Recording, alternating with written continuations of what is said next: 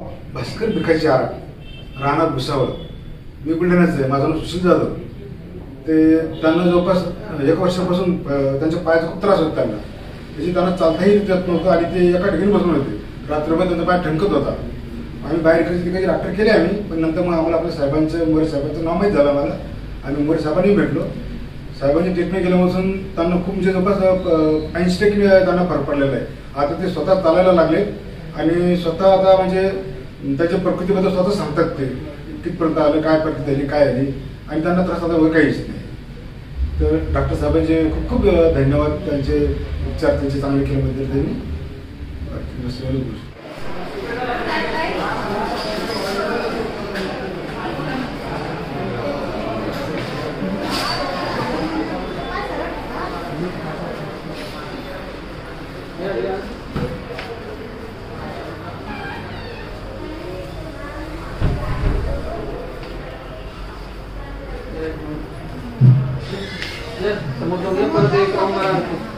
तुमचा व्हिडिओ राहिला म्हणत या मागे आणखी.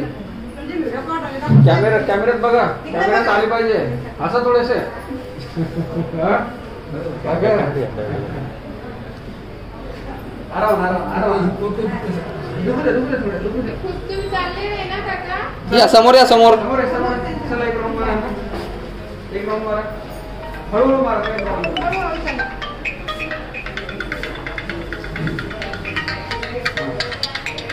हळूहळू हळूहळू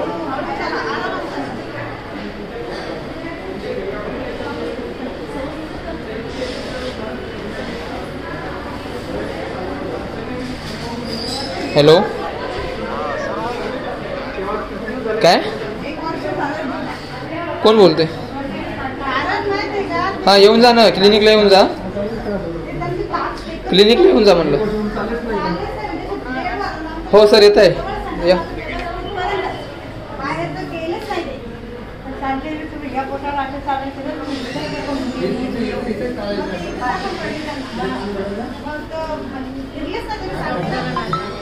व्यवस्थित सांगा ना.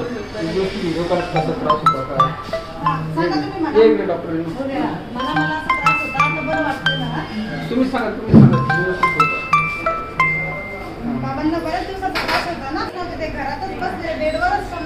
परत एकदा सांगा. मग फोन आलता.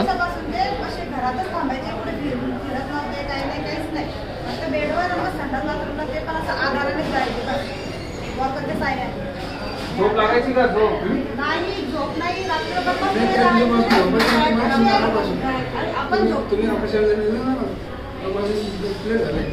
ऑपरेशनपासून झोप लागायला लागली आपण जेव्हाही उठून बघते ना बसलेले जाय तू पण तर झोपायला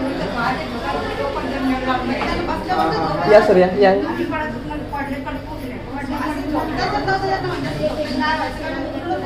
आता लागते का आता चालू राहू दे आता ते चालणं फिरणं पायाच्या वेळा चालू राहू दे. हा? रक्तपाताची औषध घेऊ आपण सुट्टी करता नाही काही. राहू दे सरळ पाय. करा सरळ करा. सरळ ठेवा खाली काही अडचण नाही. हा. आणि थोडंफार दुखलं तरी चालायचं. हळूहळू ते कव्हर होत जाईल हा? नाही.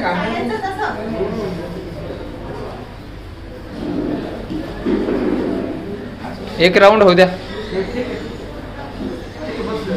जेवण द्या त्यांना आता जेवण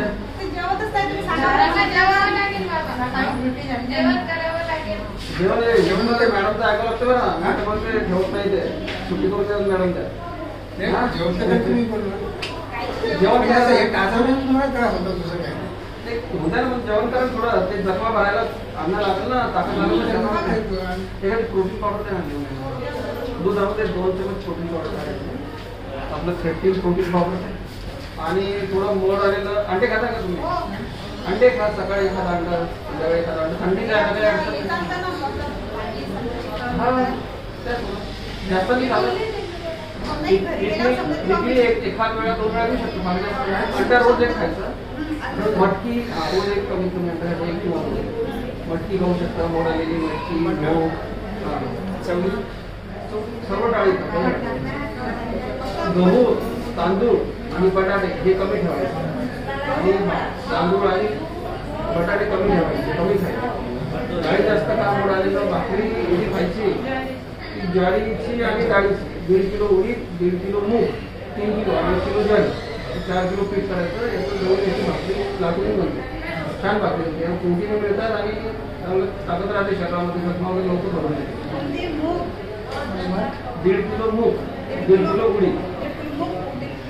आणि किलो ज्वारी. चार किलो हे दळून आणायचं.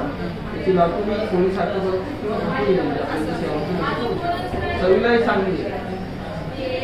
त्याचा व्हिडिओ पण चांगला तुम्ही बघू शकता. ठीक आहे त्यांचं तुम्हाला ते लिंक देऊन टाकतो. ठीक आहे जेवण करून घ्या आपल्याला हा? तर समजा आता काही काळजी नाही. फक्त सोमवारी पण सांगायला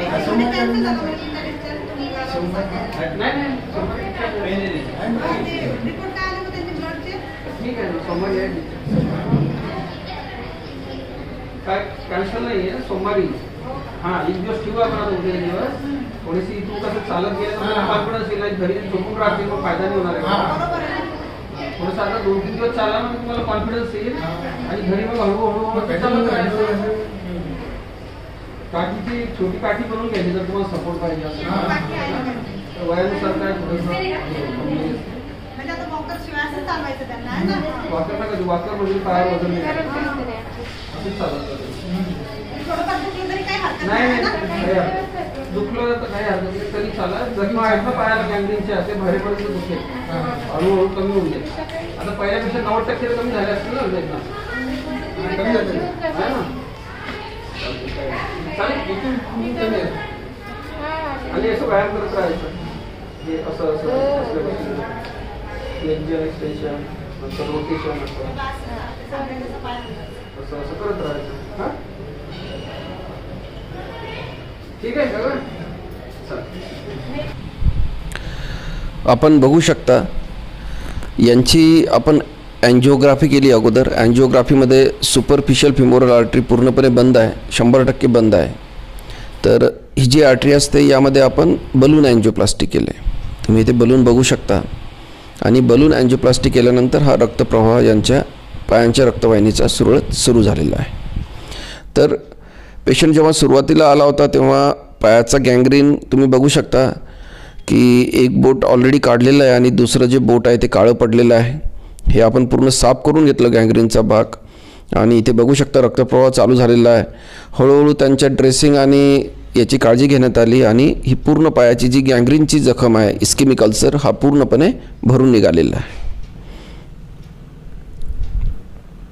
मी भास्कर आला भुसावळ. मला दोन महिन्यापासून दोन वर्षापासून पायाचा त्रास होता. चालता येत नव्हते. माझ्या पायाच्या नसा रक्तवाहिन्या चोकअप झाल्या होत्या. मला संपर्क साधण्यासाठी निरोप लागला. डॉक्टर प्रशांत मोरे यांच्याशी. त्यांच्याशी मग संबंध साधल्यानंतर मला त्यांनी इलाज केला. माझ्या पायाच्या मो नासा मोकळा करून दिला आणि आता मला पायाला चालण्यामध्ये त्रास होत नाही. आता सध्या मला चालता येत आहे. तरी मी त्यांचा फार फार आभारी आहे.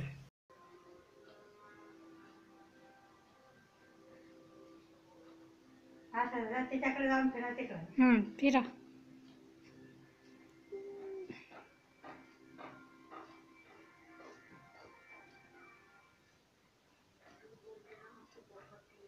अजून एकदा फिरा.